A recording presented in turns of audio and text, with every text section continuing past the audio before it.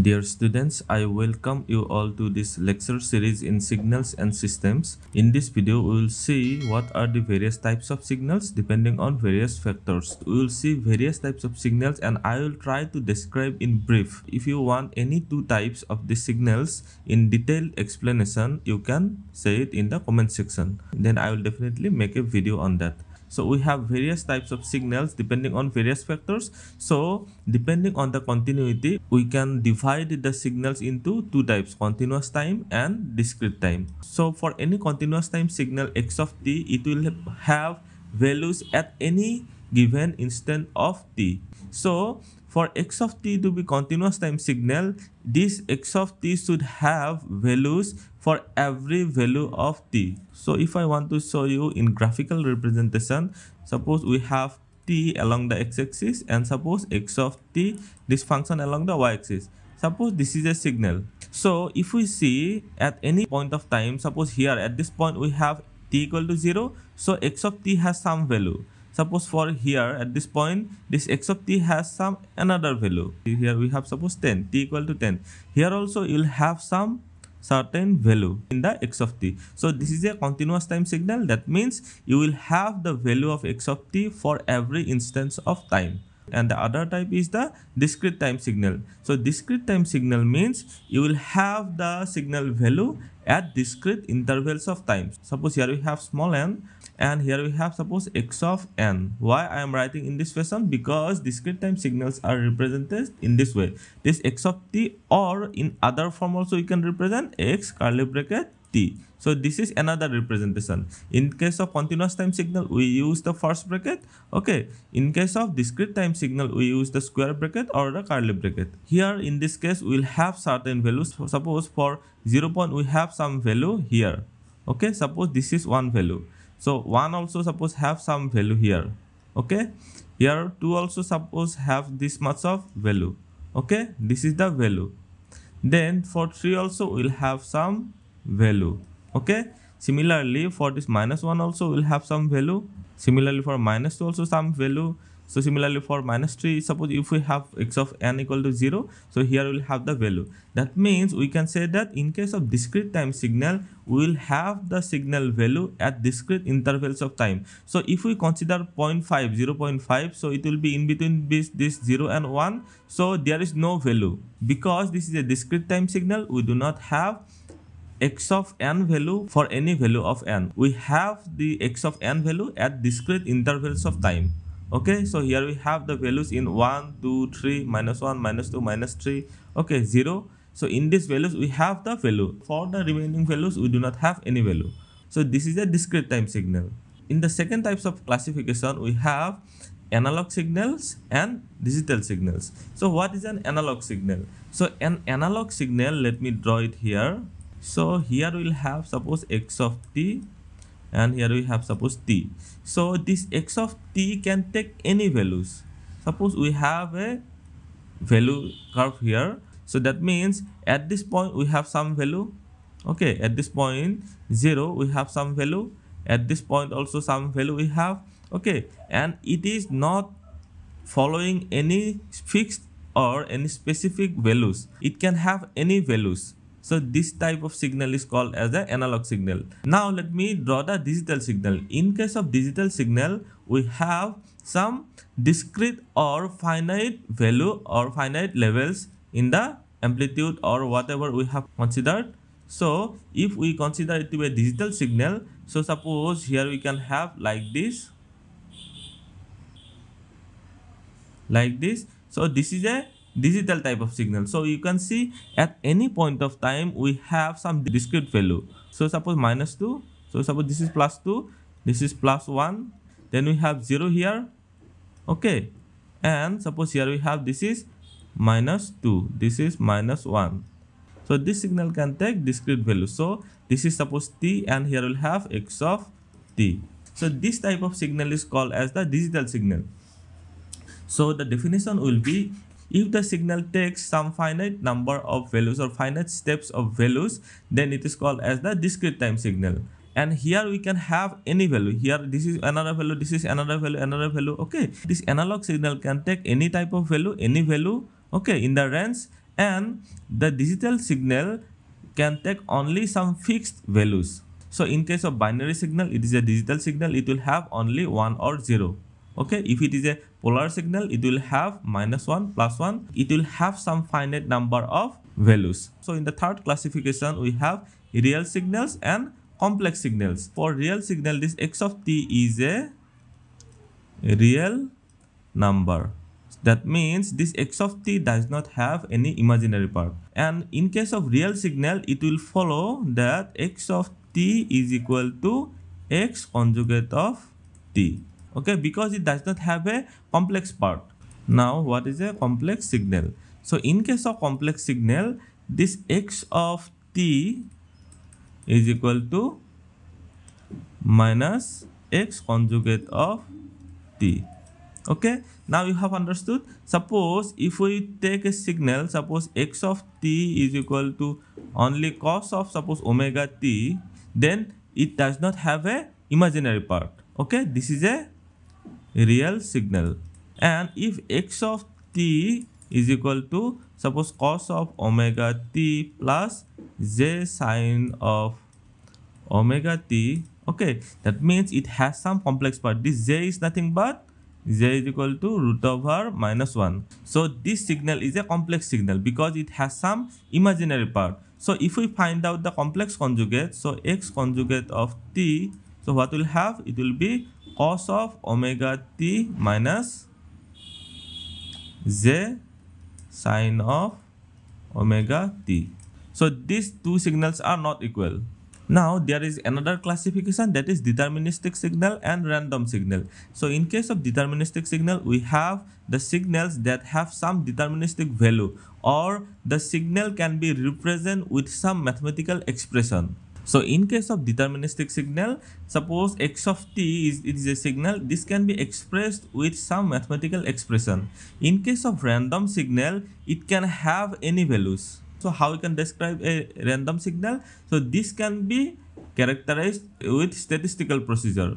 So x of t can have any value at given time t and must be characterized statistically. That means for the random signals, we use some statistical procedure for characterization. And for deterministic signal, we can express the signal with some mathematical expression. And here in this case we use some statistical procedure for explaining the signals. That means in simple words we can say that deterministic signals are those signals which can be expressed with some mathematical expression. And random signals we cannot express in mathematical form okay we can only characterize this type of signal using statistical procedure. A deterministic signal suppose we have a sine wave.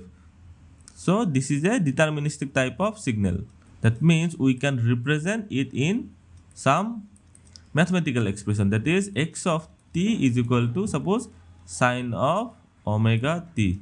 Okay? So omega is the twice pi of it is the frequency term. Okay or angular frequency we can say. So in case of random signal it can have any values okay it can have any values so this type of signal is called as the random signal now we have the even and odd type of signal. So in case of even signal, x of minus t is equal to x of t and for the odd signal, x of minus t is equal to minus x of t. So how to find out the even and the odd signals? So we can express any signal in terms of even and odd parts. So if it is a continuous time signal, x of t, we can write it as x even part of t plus x odd part of t. So in case of discrete time signal how we can represent x of n is equal to x even part of n plus x odd part of n so this is the signal representation. So if we are given with a signal x of t how we can find out the even part? So for finding out the even part we'll have the formula x even of t. So this is the even part of t. So here we have this formula. Half of x of t plus x of minus t. So this is the formula for finding out the even part in case of continuous time signal. So for discrete time signal x e of n we can find out with the same type of formula. So here we'll have x of n and plus x of minus n. so here we have the square brackets. So for continuous time signal we have this formula for finding out the even part. Okay? So here i am writing it is even signal.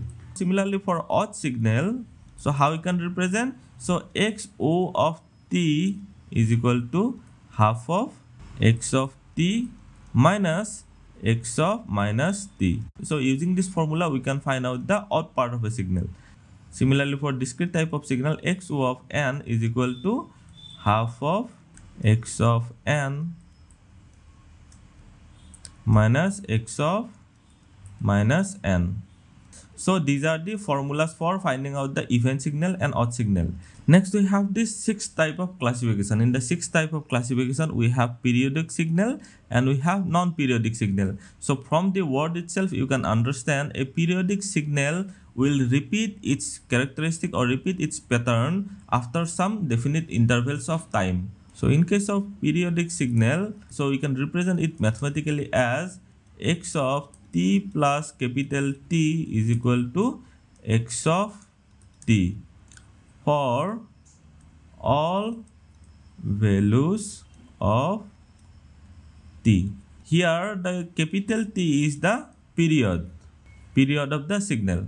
Similarly for discrete time signal we'll have to represent in terms of n. So x of n plus capital N here will represent is equal to x of n. So for all values of small n okay? And here capital N is the period.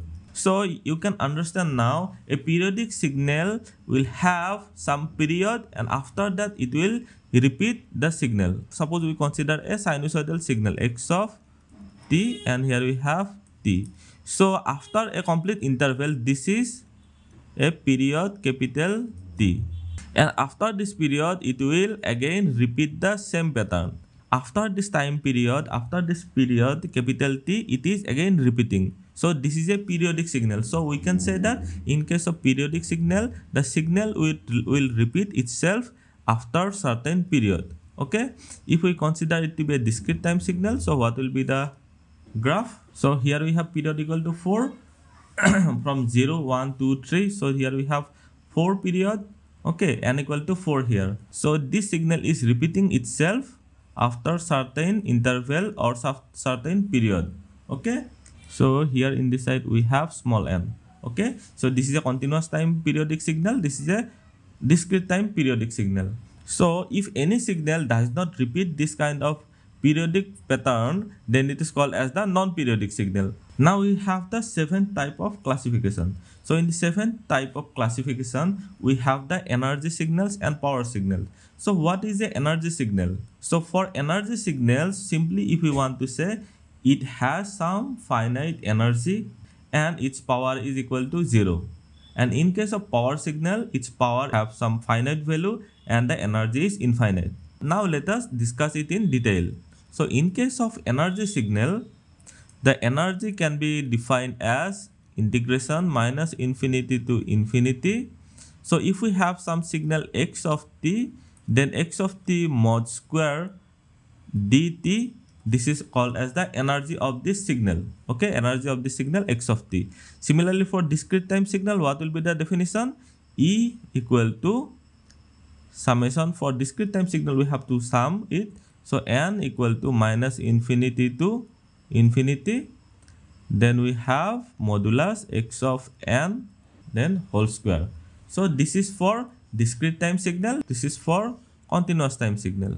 So in the left hand side we have for continuous time signal. And in the right hand side we have for the discrete time signal so similarly we can calculate the power. So how we can calculate the power? So power average power we can calculate it as if we calculate the average power of a continuous time signal then we'll have limit capital T tends to infinity 1 by T integration minus T by 2 to capital T by 2 okay.